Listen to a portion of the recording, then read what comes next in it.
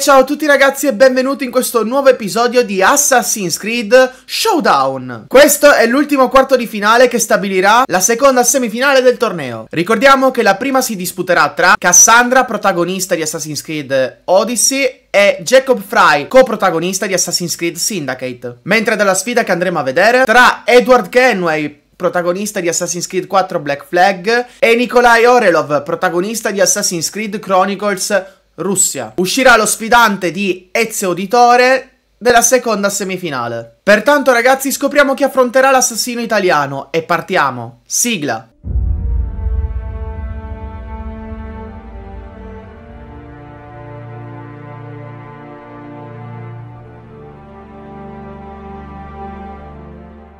Il campo di battaglia è un giardino di una tenuta ottocentesca. Nikolai si presenta armato di fucile, spada e la macelata. Edward risponde col suo set di pistole, la spada e la lama celata. Il russo scruta il gallese, cercando di capire il momento opportuno per sferrare il primo attacco, mentre l'avversario pare abbastanza tranquillo, come se avesse un piano d'attacco ben preciso in mente. Kenway estrae subito la pistola stile stallo alla messicana e spara un colpo che però Nikolai evita, rotolando sul lato e gettando un sasso alla mano di Edward che perde la pistola. Orelov si scappa scaglia con un blocco stile football all'americana, atterrando con una spallata allo stomaco di Edward e subito estrae la macelata, abbattendolo sul collo del britannico, che però incrocia le braccia e blocca il colpo inferto dal sovietico. Edward si divincola e si rimette in piedi, estraendo subito la spada e colpendo Nikolai che para il fendente con la lama celata ancora estratta. Il russo estrae la sua spada e inizia a duellare con Edward. Entrambi padroneggiano l'uso di tale arma e il loro duello sembra una dimostrazione di abilità di un'accademia di scherma. Le difese però vincono sugli attacchi. Ogni colpo portato da uno è parato o deviato dall'altro. La situazione pertanto è in una fase di stallo e per questo Edward cerca di smuoverla colpendo con un calcio il fianco del russo, che però incassa il colpo e con una testata fa cadere al suo suolo il gallese. Nicolai decide di farla finita ed estrae il fucile. Ma Edward capisce l'intenzione del suo avversario e rapidamente corre a nascondersi dietro un'enorme fontana di pietra posta al centro del giardino. Orelov lo insegue e lo raggiunge. La distanza ravvicinata non gli consente di sparare. Inizia ad usare il fucile modalità baionetta, ossia cercando di infilzare Edward con la lama posta sulla sommità del fucile, usandolo pertanto a mo' di lancia. Edward riesce a schivare un paio di colpi, ma a causa di una radice esposta sul terreno, inciampa e viene ferito di striscio a un fianco. La veste bianca del gallese inizia a colorarsi di rosso e Kenway è visibilmente sofferente. Si volta cercando di fuggire, dando le spalle a Nikolai, che decide che è il momento propizio per finire l'avversario e lo carica puntando la lama del fucile dritto alla schiena di Edward. Il pirata all'improvviso si gira e inizia a correre anche lui verso Nikolai, come spinto da un istinto suicida.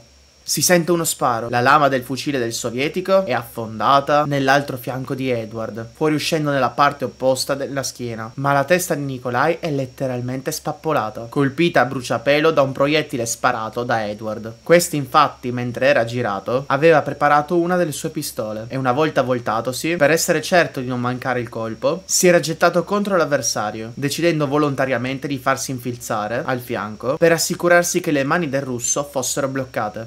Fatto questo e subita la ferita in un punto non immediatamente letale, ne aveva approfittato per puntare la pistola alla tempia di Nikolai e fare fuoco. Edward Kenway raggiunge Ezio Auditore in semifinale. Per Nikolai il torneo e la vita terminano qui. Bene ragazzi, così si conclude una sfida che per voi non è mai stata in bilico. Vittoria che definire netta è davvero poco da parte di Edward e adesso il gioco si fa davvero duro perché inizieranno le due semifinali. Infatti da ora sul sito www.ilgrandegliassassini.it potete decidere voi l'esito della prima semifinale che come vi ho detto prima vedrà contrapposti Cassandra e Jacob Fry. Vi ricordo come al solito che il sondaggio terminerà domenica 2 giugno. Sono davvero curioso di scoprire chi sarà il primo finalista di Assassin's Creed Showdown. Suppongo anche voi. Bene, il video termina qui. Se il video vi è piaciuto lasciate un bel like, iscrivetevi, attivate la campanellina per rimanere sempre aggiornati su nuovi video che escono. E detto questo noi ci vediamo in un prossimo video. Bella! Baby,